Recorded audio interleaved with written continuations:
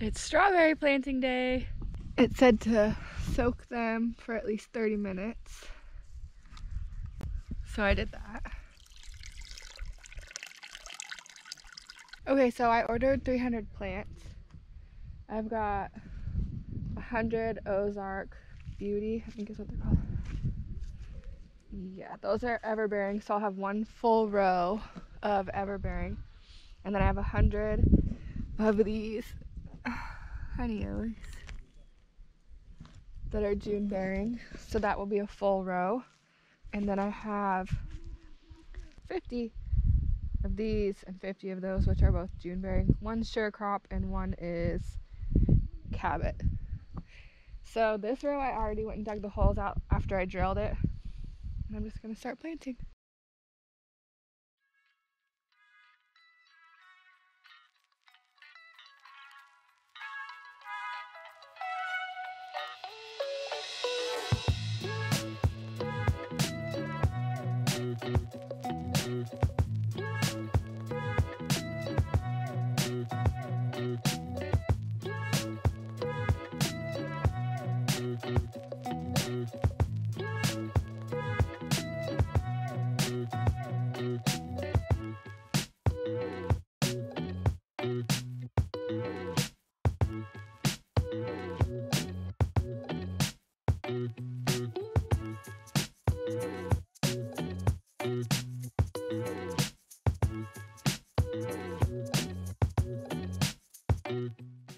All right, I got that row done and I'm too tired to get the other two rows done.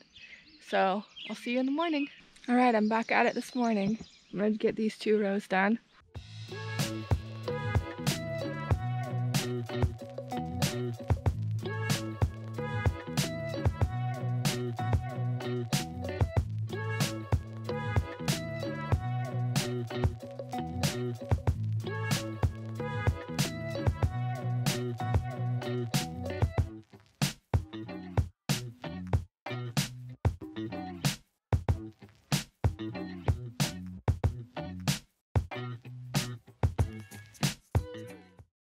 Morning, everyone.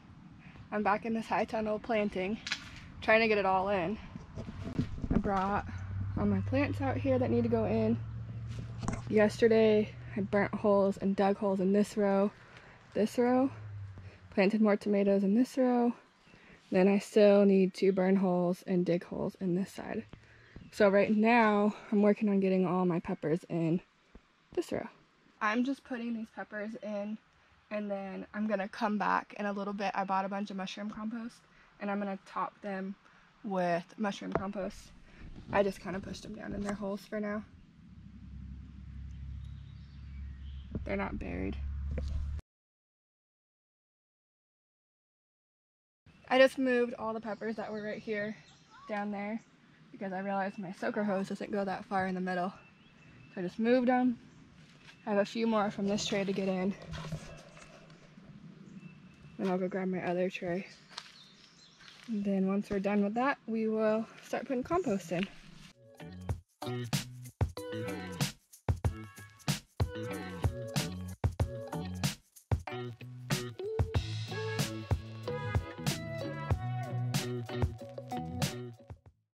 Alright, I got all the peppers in.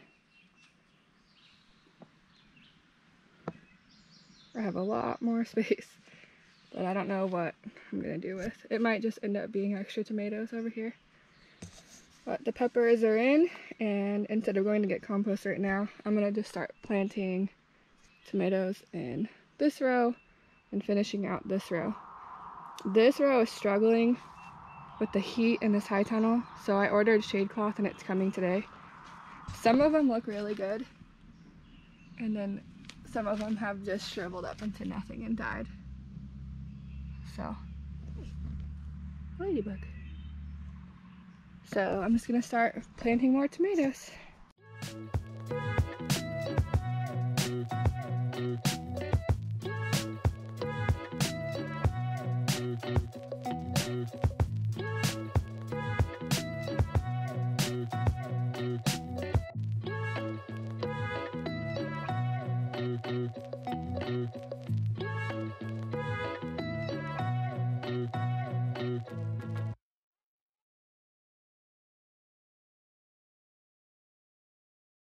I got my compost in here and I started on my peppers, but Michael's home now, so we're gonna put shade cloth on the greenhouse. Woo, it's here. So we're gonna put the shade cloth on the inside of the greenhouse. We're gonna weave it up and over the poles. And I'm wondering if that will be better to not have to battle with wind and stuff, ripping this off. We're gonna give it a shot because I can't really see what difference it makes if it's on the outside or the inside, so. All right, we got the first section of shade cloth up and I think this is gonna work in here. There's some slack in it, but we're gonna zip tie the ends together. And then once we've got all of them up, we're gonna pull it tight and try to get as much of that slack out as we can. So we're gonna work on getting the other two up. It's good timing for this weather. It just got really cloudy and really cool, so it actually feels good in the greenhouse. First 10 minutes in here was awful, but it's nice now.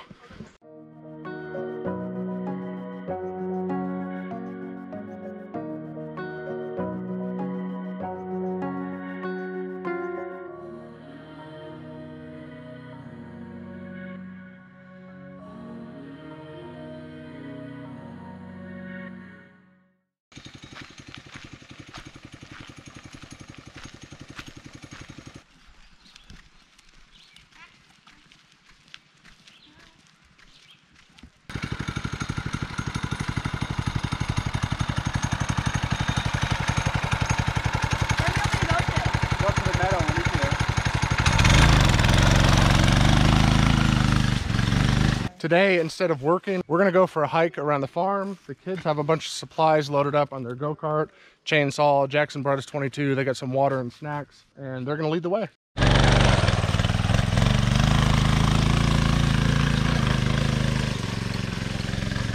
No. That's where we walked, that's the road we walked up on in the creek right there.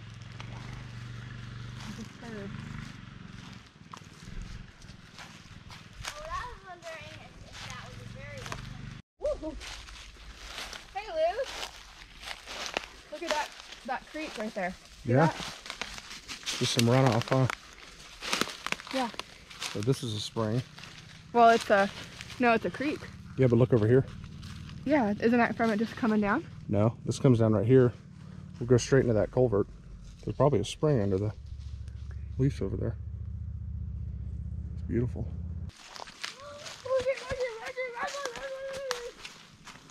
So most of this 100 acre property has roads going all through it. Uh, we can go all the way to the top of the mountain, cut all the way through the woods. We can pretty much get anywhere through the 100 acres on these roads. So it's pretty cool to be able to come out here and walk them and take the go-kart and hopefully eventually come out on a four-wheeler or a side-by-side and explore even more. So along these main roads, of course, we've got other little roads that turn off everywhere. Those ones haven't been maintained as well as this one. But we'll get in there someday and clear them up and see where they all lead us to. Look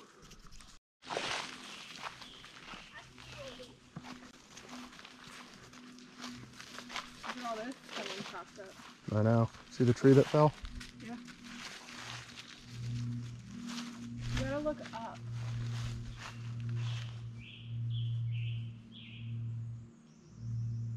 It's beautiful, isn't it? I think that's Mountain Laurel. Mountain Laurel. Look at that. Here. It's beautiful. Look, it goes, look how tall it is. Whoa. Wow. That's so pretty. Wait. There he is. Uh. Jackson! Jackson! My mom loves you doing that again. Where'd you end up? I got stuck at the four-way intersection thing that you call. So Heather just made a good point. I hope you can see how steep this hill drops on the side of the road, and then of course how steep it goes up on this side. Just imagine for a second if these roads weren't here, we could never hike through here and enjoy this. It would be awful. So the fact that these roads are here, this is just amazing. Look, we're at the pasture. Oh yeah. So yeah, we're looking down on the pasture behind the house and up above all the gardens. It's right through here.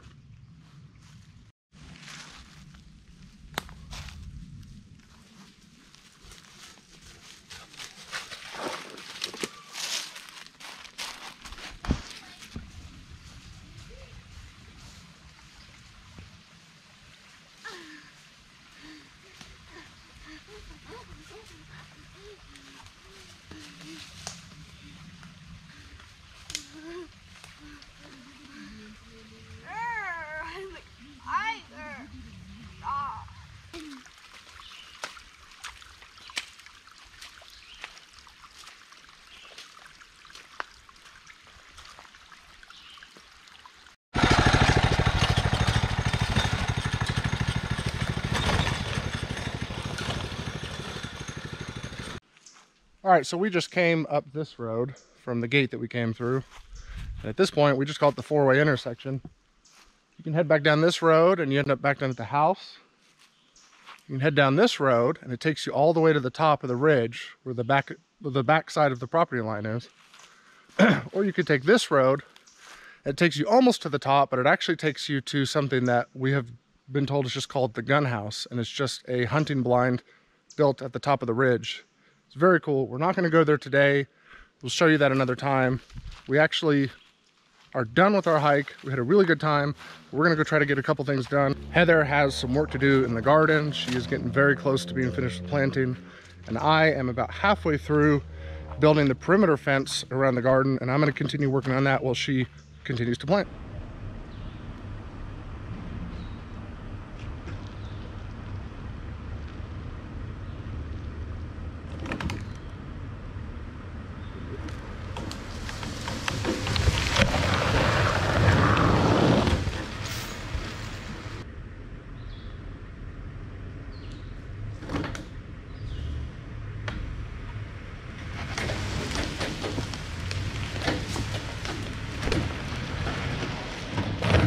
Well, that was interesting. We had somebody drive by and stopped.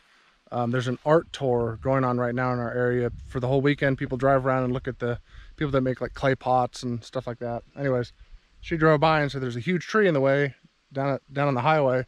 Just want to let you know. Uh, so myself and a neighbor went down to see if we can get it out. Everybody worked together, finally got it cut up, and then uh, got it pulled out of the highway there. So that was good. Um, good community here. A lot of good people always willing to help. So I'm gonna start working on the fence. I've already got, oh, probably close to half of it done. I am not using string or anything. I'm kind of eyeballing my posts just to get some hot wire up to keep the deer out. Uh, what I'm doing is I am doing six foot posts and then four foot posts, six foot posts, four foot posts, all the way around, just staggering them to at least get one piece of hot wire to be real tall, six feet up all the way around. Um, I'll probably put a couple gates in here so we can get the mower in and out still. So I'm gonna start pulling some extra four foot posts from the old cattle fence because I ran out. And I think I've, if I do that, I'll end up with enough seven foot posts and four foot posts to try to finish this today.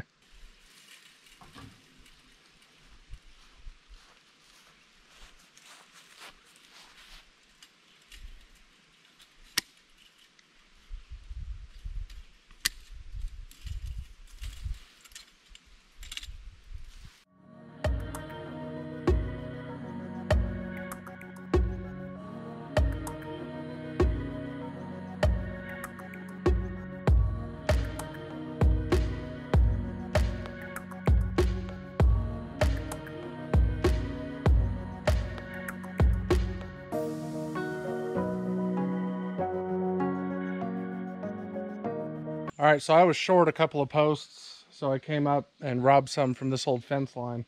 This old fence line runs all the way up this creek and then all the way along that big tree line there. And, and everything along here is gonna come out as far as the fence goes because we're not gonna be fencing anything in on this side. And then there's some areas by the pond that have an old fencing area too. So there's probably a couple hundred T-posts to pull out that we can use elsewhere. So I got some more green ones so everything matches. I'm gonna get those in and I'll be done with the post tonight. Probably won't get to the wire because it's about time to eat dinner. Gotta go start cooking.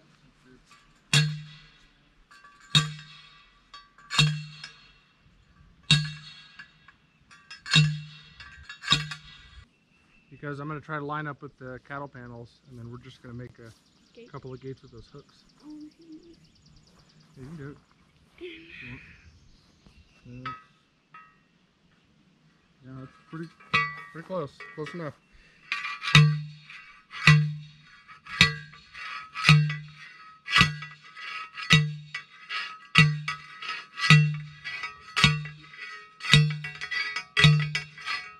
One more. Good job. You did it. Okay, I've got about every single post up. Um, I need to do a couple closer right here because I'm going to make a little gate just with the electric fence hooks and just hoo- hook them onto a hoop on the other post. Um, I was going to build some gates, but Heather said, why would you do that? Just, I just want to unhook them. Um, and then we'll probably only have this on at night. This is really just for the deer. So I'll put a couple more small posts in here and I think tomorrow I'm gonna try to rig up something on that gorilla cart where I can put the spool of wire on and drive around and just let it coil out. So, looks good. Our bees are here.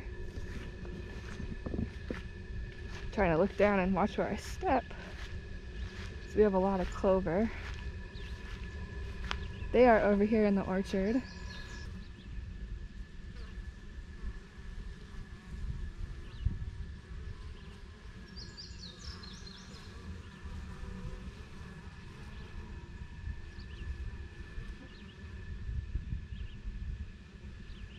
They're pretty chill. I'm this close to the hive and nobody's even caring that I'm here.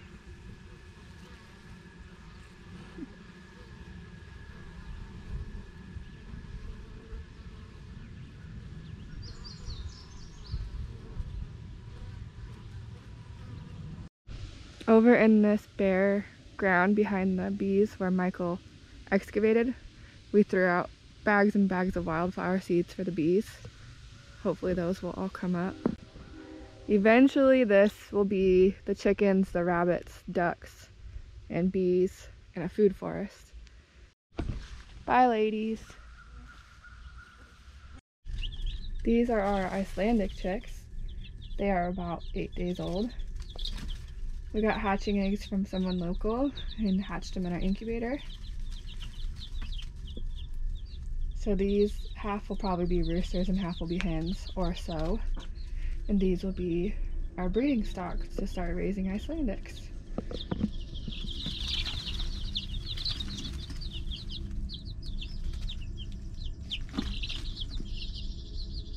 There's 24 24 babies.